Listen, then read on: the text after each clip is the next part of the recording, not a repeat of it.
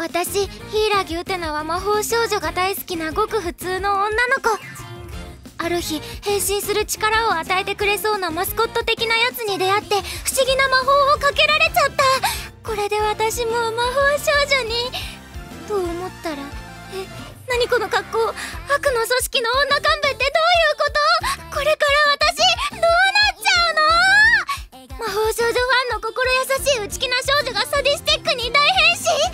正義と悪の激しい SM プレイスタートです。